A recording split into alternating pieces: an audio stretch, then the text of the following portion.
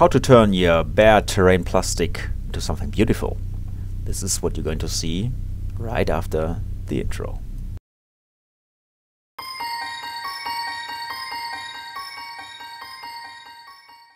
Hi ho and guten Tag, welcome back to my channel and no no no stop don't leave you don't need an airbrush you could also use a rattle can which might turn out to be looking even better because of the speckling or you could use a dry brush right after your dark priming. So in this video we are checking out the Sector Imperialis for Games Workshop and of course I'm going to grime it up and nurgle it up and make it ugly and dirty. That's exactly what I like. Um, of course you could use these techniques for all kinds of terrain, but um, this is going to be gothic here. Uh, first of all you will need a dark prime as a base and then you will need to zenithal this uh, from above using lighter grays or even whites.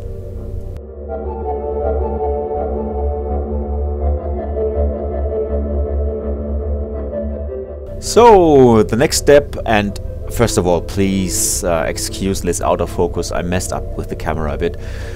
We're taking care of the floors or roofs, tops, or the well, depending of where you're standing, I guess. Um, and I'm creating with a lighter gray. Um, interesting contrast or interesting lights and shades, and um, not meant to be realistic, um, but it will serve as a base for the washing steps, which will follow up later on.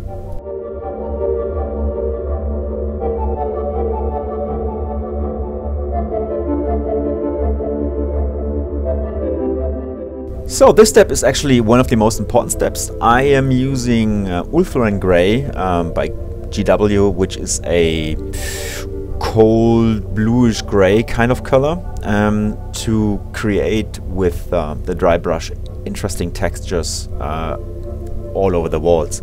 Um, the whole reason being is that later on I'm going to heavily wash the walls and um, these uh, patterns from the dry brushing here will show up this and um, of course this is going to have an interesting look um, which I'm going to show you in a minute.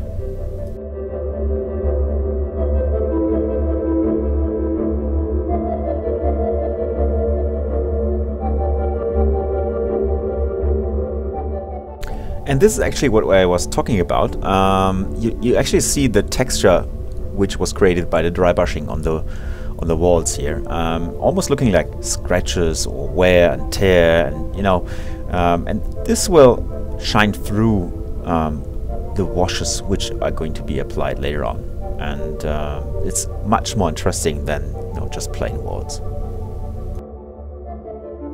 Alright, and um, now back to the floors or roofs or whatever and dry brushing and that's what I meant in the beginning. Um, as you see in the middle of the tiles here um, they are already dry brushed and have already a nice texture which will sh shine through uh, the washes later on. Why am I doing all this? Um, because I've seen a lot of battle reports which have fantastic looking miniatures but well the scenery or terrain looked quite dull and not very exciting and I thought well let's find let's try to find out and way that actually gives you quick and effective terrain um, which also looks good on the table. And yes, I'm doing the stuff below as well. I know you can't see them in the game, but I know it's there and I know it could have been better just in case. So, and uh, next we're going to start with all the details. Um, that's something you can't avoid um, if you want to have, you know, some great looking scenery. Uh, and here I'm using the Vallejo metal color range. That's the 32 mil uh, bottles, and uh, they're just fantastic. Originally made for airbrush, but of course you can use them with a regular brush as well. And they are just fantastic. They cover everything. Um, they are very fluid, um, very nice to work with. Highly recommended. And um, yeah, I'm picking out all the metal stuff where I think which would be metal, and um, yeah, covering all the details.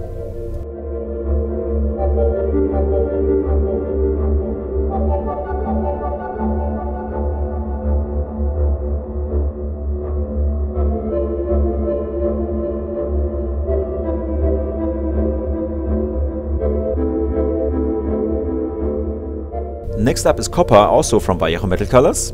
And here I'm focusing more on, you know, all more or less on ornament kind of details and all the um, heat distributing details like pipes here and there or uh, like this boiler or whatever it's supposed to be. I, I, think it's a boiler. Let's call it a boiler. And um, this is also to create some contrast and have some, uh, you know, break up all the silver colors uh, which would usually um, dominate in this kind of scenery.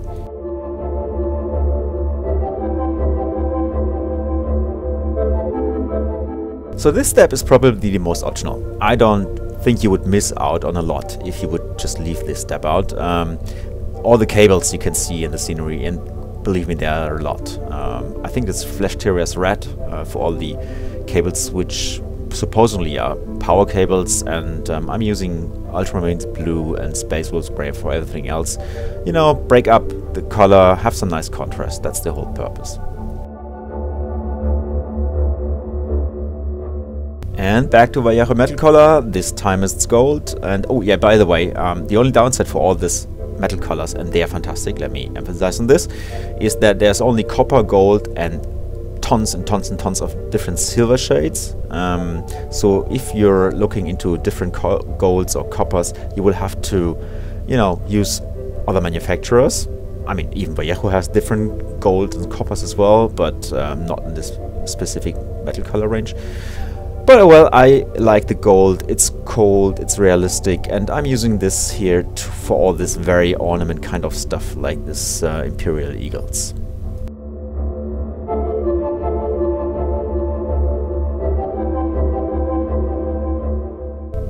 Alright, and after the details, the weathering is supposed to begin, and that's what I'm doing here. I'm using a little sponge and uh, Vallejo Model Air Dark Earth to splash on some dirt, uh, which, well, I mean, it's a dirty planet, it's war-torn, so um, after some rain, there should be mud splashes up the walls, and that's exactly what I'm doing here.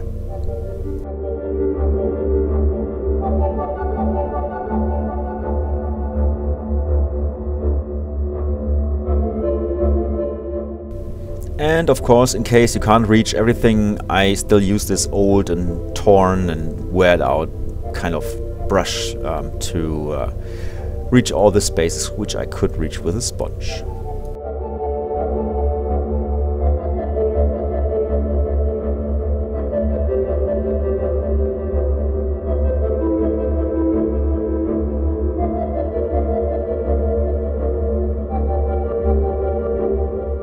Right, and the second step of the mudding of the terrain is done uh, with a darker brown, more specifically Stirland Mud by GW, which has also some texture in it, uh, which of course is perfect for this kind of purpose.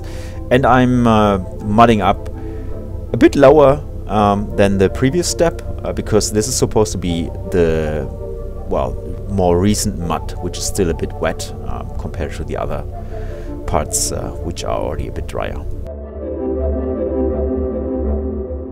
Now for the messiest, but nonetheless the most important step of them all, um, AK Interactive's Streaking Grime, more precisely Winter Streaking Grime. Um, compared to the brownish Streaking Grime, which I was using for my Plague Marines, I chose uh, this greenish tinted grime on purpose because I thought on this war-torn world there's a lot of acid rain and it's, it's very wet, so I thought um, this might be quite fitting have this greenish tint on the walls. So, if you haven't heard of uh, Streaking Grime yet, um, this is, is, a quite interesting product because um, it's a color based on enamel, which means, um, well, it's not based on water like the acrylic colors you might be used to. And uh, this also means that um, the solvent which I use to work with this is uh, white spirit. And um, this also means, by the way, have a well ventilated area or wear a respirator because the fumes you know, of white spirit and streaking grime, grime are not very healthy and very nice. But the, the biggest advantage you have here is that um, you can use white spirit to remove almost everything of the streaking grime which you added previously. And of course you will have a greenish tint, um, but you will have a lot of freedom when working with this stuff. You know, I mean, if you have used the washes from GW or from Vallejo or whoever, um, you are basically stuck with whatever you have after it's dry. Uh, you can't change that. And uh, with Streaking grime, you can even activate it after hours and hours and redo it and reapply and remove and do whatever you like. And that's this, this is the reason why I, really like working with enamels um, for my Plague Marines, for my Poxwalkers, and now for terrain as well.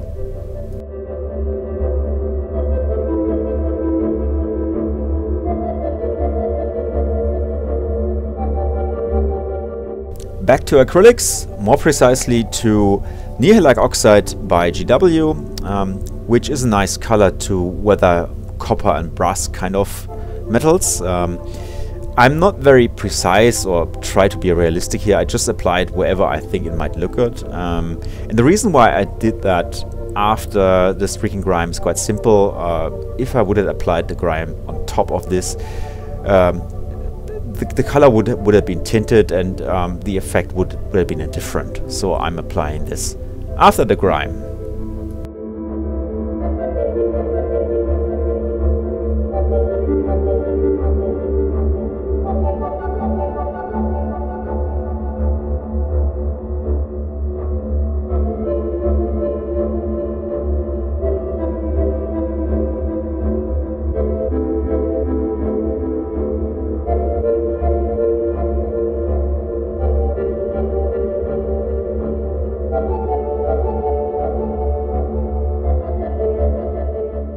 Give the edges of the windows a bit more contrast and one look, I'm using a silver color. Not a brush though, I, am sure you realize that by that. Um, this is actually a silver Sharpie. Um, the reason is that this kind of, of, of edging, I, I, hate doing that with brushes because you have to dip and you have to check the, the you know the, the tip all the time and so I just opted out for a Sharpie which of course has you know color in it all the time perfect tip, and it's just working fantastically. It's it's speeding up, um, you know, this kind of edge work a lot.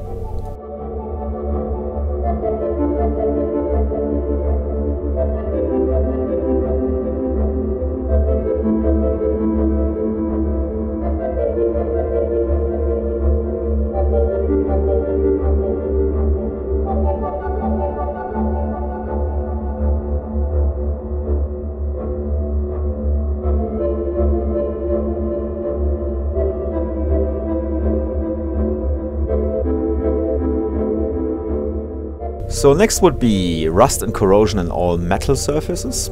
Um, I'm using Typhus Corrosion by GW here, which is the perfect base for everything rusty. Um, it's a technical paint, which has texture, which is, has like a brownish-greenish tint, and is, in my opinion, one of the most effective and fastest ways to um, have your rusty surfaces. I mean, of course, you can, you could, uh, if this would be a, a you know, you know, a competition model or whatever, you could use all kinds of different Rust effects. But uh, I just want to have it a good looking thing on the table as quick as possible and Typhus Corrosion is the way to go then.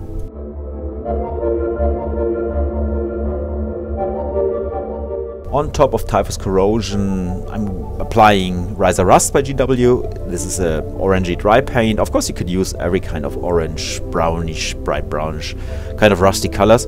But um, I really like working with uh, with these colors um, uh, to have you know this this rusty effect. Um, don't apply it on all Typhus Corrosion surfaces. Uh, don't cover it up uh, completely. Leave some brownish greenish um, parts as well, so you have a nice contrast, uh, nice transitions between the bo both colors.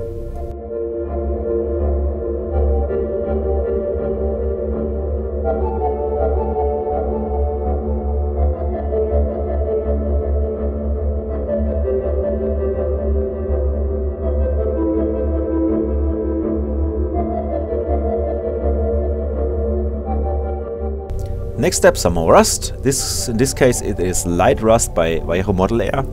Um, I'm applying this to this, whatever this is, bolts, rivets, I don't know. Um, basically everywhere where moisture and, and rainwater would collect, which would cause rust.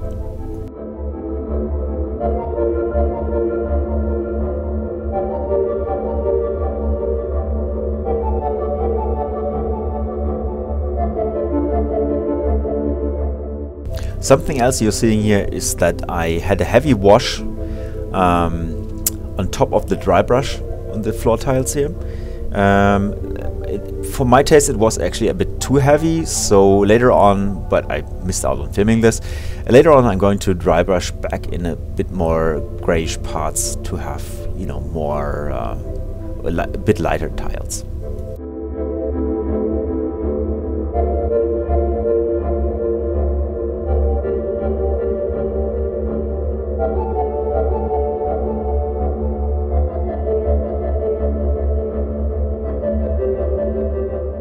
And one of the last steps are the propaganda posters.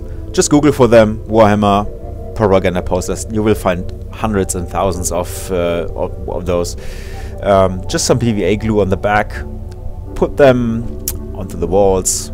Some PVA glue on top to have them sink in all the recesses. Um, some Agrax uh, shade or whatever on top, weathering. Rip away some corners to make them more look the worn out, and uh, you're done.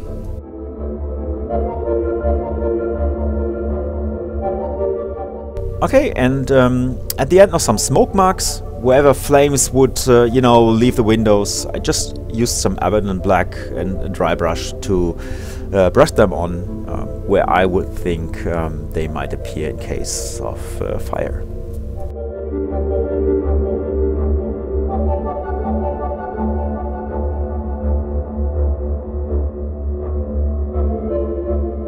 And that it is, done. Um, I did some more stuff. For example, you see bullet holes in here. I just drilled them with a little small hobby hand drill and, you know, chipped away the corners so they would look more like bullet holes. Added some some blood effects here and there with uh, blood for the Blood God from GW. Um, give every gave everything a matte varnish uh, instead of my usually uh, satin and matte mix. I found out that the matte looks much much better if it's you know if the walls are not that shiny. And yeah that's basically it. I hope you liked the video and um, you know what to do. Like and subscribe. Thumbs up. Hit the bell button. The whole thingy. And I hope to see you soon again on this channel. And goodbye. And auf Wiedersehen